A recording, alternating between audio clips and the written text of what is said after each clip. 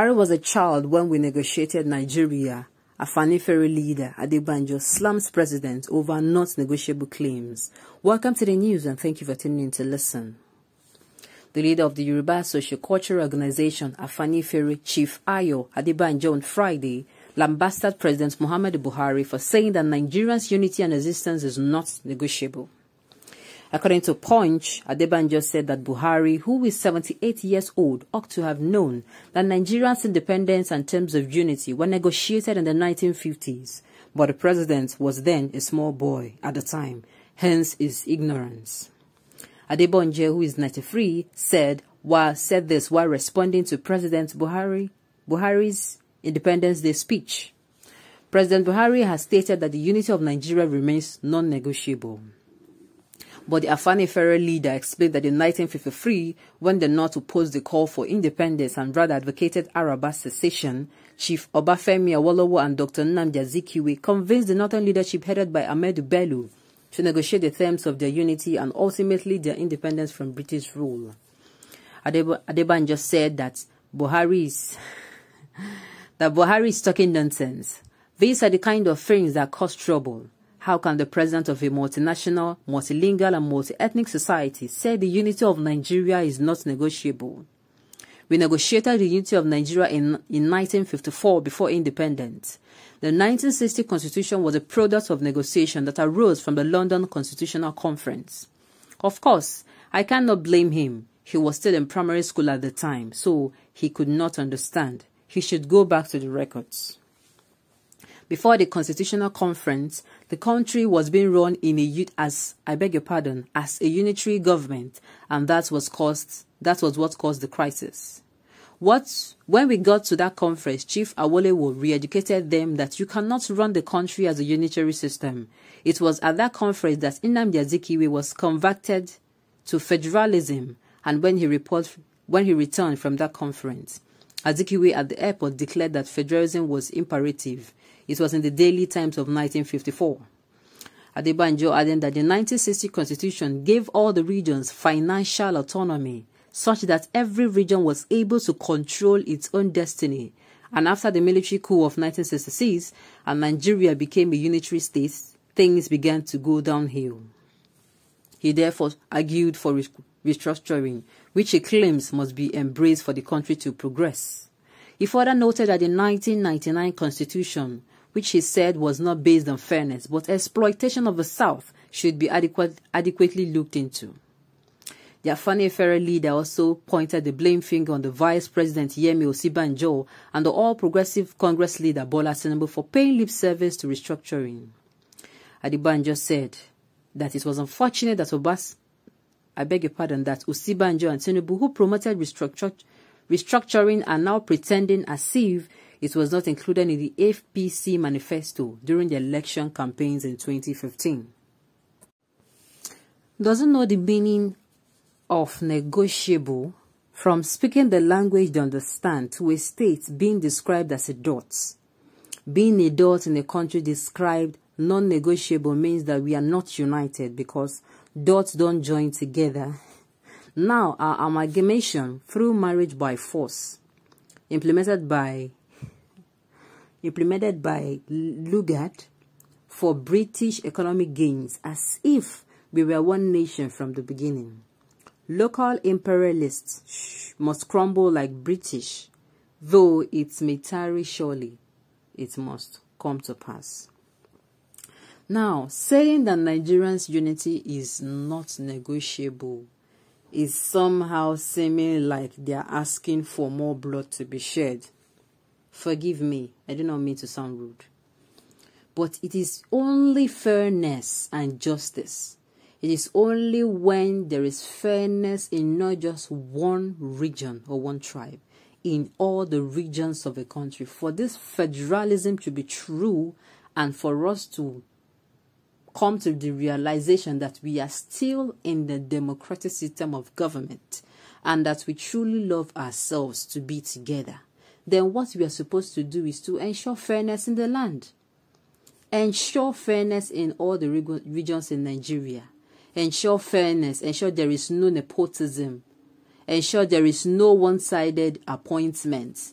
ensure fairness in the allocation of funds to states, ensure fairness in the supremacy of the law, ensure fairness by stopping the intimidation and the marginalization. Stop referring to a particular region that they are a. How can you say that? How can you say they are not? It is non-negotiable when it is certain that lives will be lost in this process. I weep. I weep. I keep saying it. God bless Mr. Ex-President Dr. Ebele Goodluck Jonathan.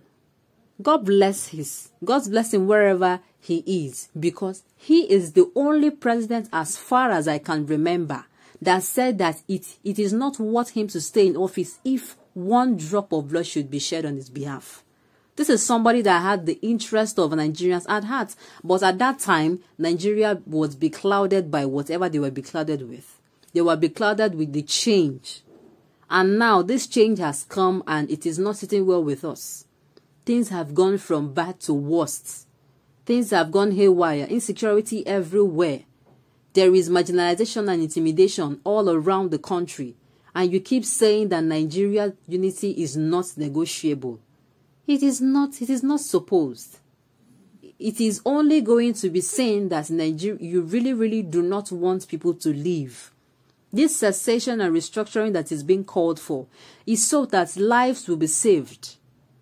I keep saying it. It is so that lives will be saved. I keep saying it. This agitation being done, it is not for stomach infrastructure people agitating for this restructuring and um, this restructuring now, they are not doing it because it is bringing milk and honey to their homes. Neither are they doing it because it is giving them more money or their account is being fattened. No, they are doing it because they are not feeling safe. They are afraid of what will happen tomorrow. For instance, now, yesterday we celebrated our Independence Day for those who celebrated it because I said yesterday, yesterday was supposed to be a national mourning day for us where we are going to mourn about the insecurity in the land, the killings. The land is continually being bathed in innocent blood and nothing is being done about it. And even when those who committed this act comes out, what happens? The government said they have repented and they should be set free. It is no way supposed to be a National Independence Day.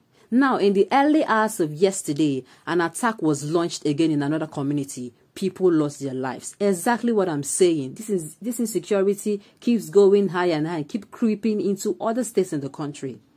If you're in Nigeria and you are thinking that for once that insecurity will not get to you, let me tell you, wake up wake up, it is going to be a reality that will hit every one of us soon. If this insecurity is not dealt with, or if this restructuring is not given to Nigeria.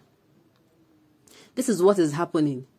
This is not um, like a story or this is not history. This is happening. It is happening and it's happening in front of our very eyes. So this is what these people are agitating for.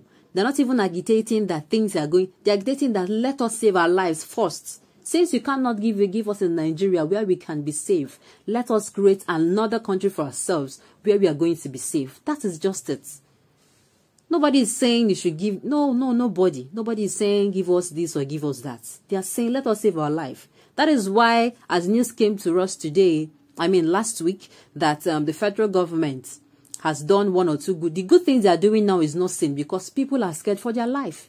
Even if you say that, okay, there's creation of judge, insecurity will not allow people to even acknowledge that, that particular fact.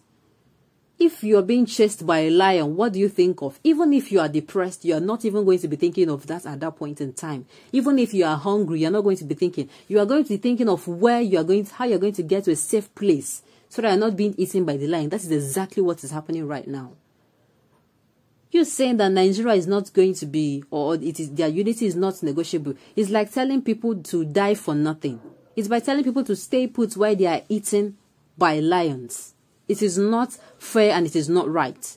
The only right thing to do now is to ensure, okay, fine. If you say Nigeria's unity is not negotiable, make sure you make Nigeria very inhabitable for the citizens of Nigeria. That is all we are saying.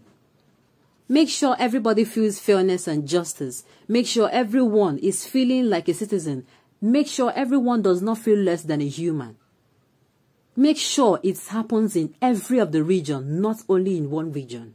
And if that is the case, I do not think anybody will come out and say they want a restructuring. If Nigeria is that good, is that safe, there is justice, there is fairness, there is equity, there is nothing like ornithism that is going to divide us, then I do not think that Nigeria needs a restructuring. But the fact that all these things are eminent and the federal government has refused to do anything concerning these issues, what will happen is, is that we are going to need to restructure. With this, we have come to the end of the news today. Thank you for tuning in to listen until I come your way next time. Enjoy the rest of your day.